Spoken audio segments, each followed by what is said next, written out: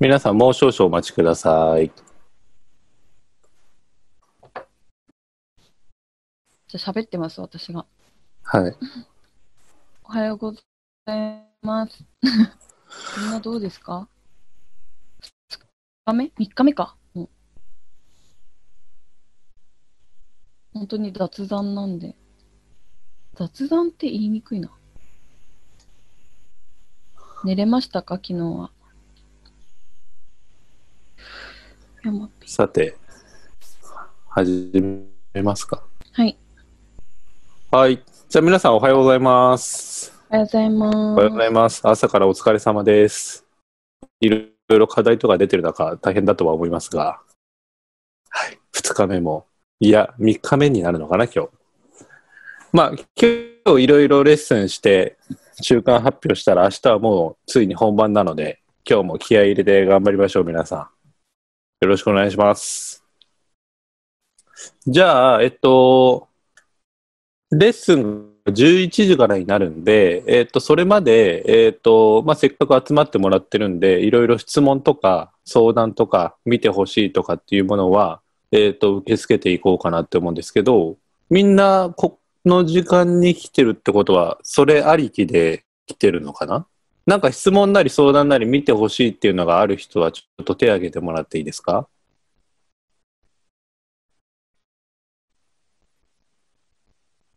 ？1、2、3、4、みんな、みんなじゃないですか。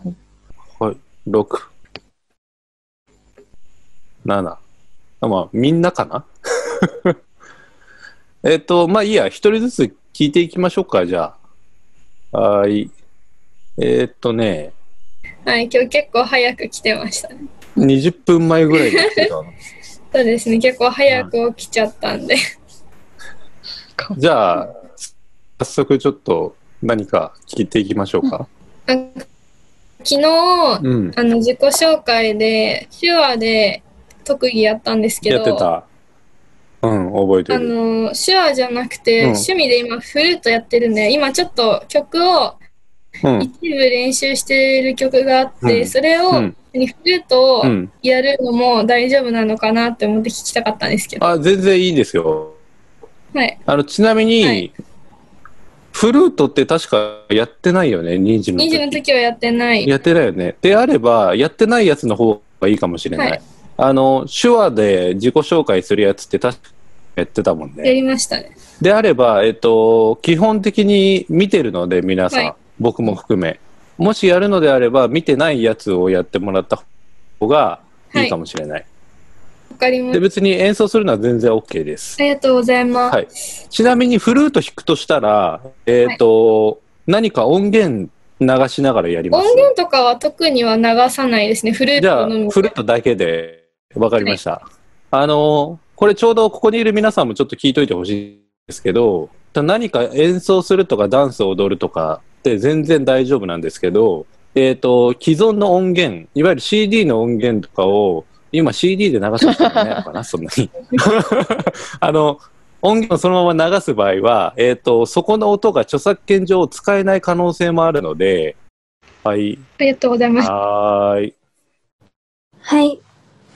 えっと、昨日、えっと、自由演技でさせてもらったのを変えようと思ってるんですけど、うんそれを見ていただきたいです。いいですよ。あ、はいお願いします。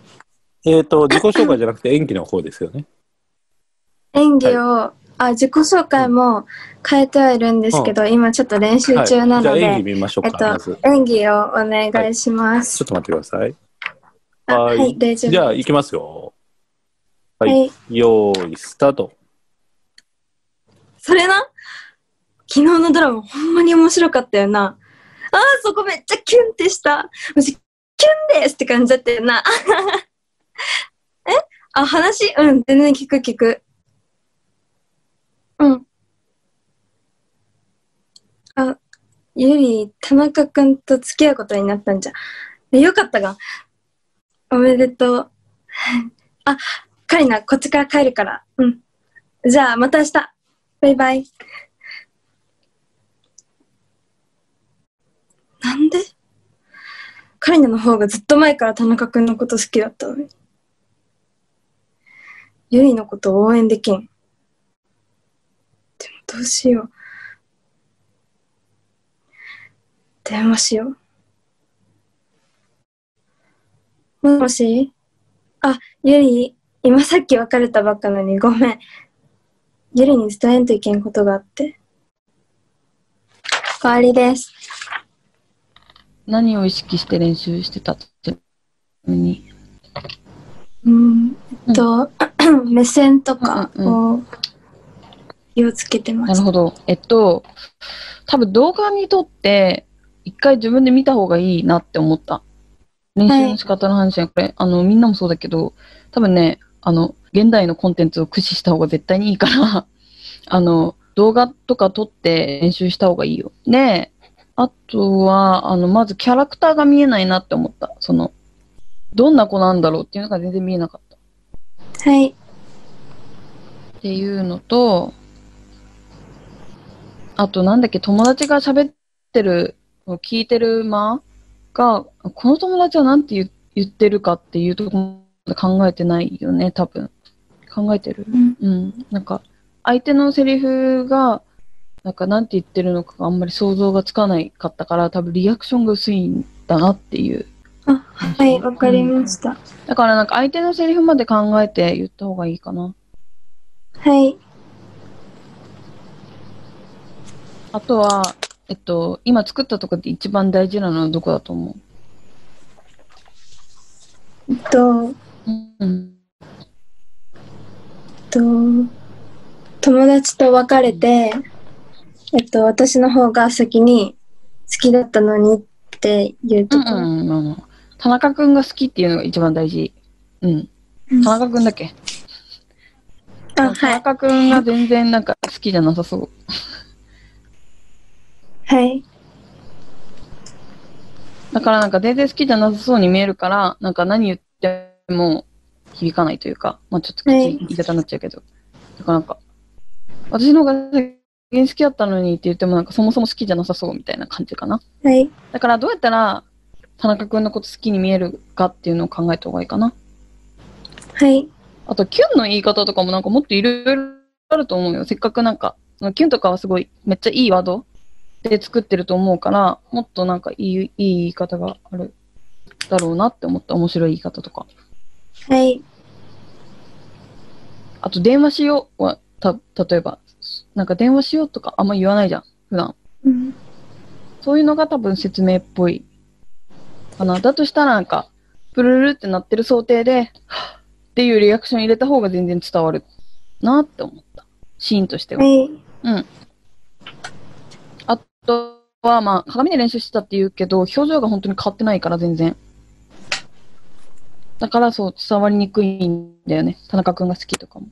であはと、もう一個本当に演技的に思ったのは、一つセリフを言う、一秒空ける。一つセリフを言う、一秒空けるみたいな感じで、全部間が一緒なの。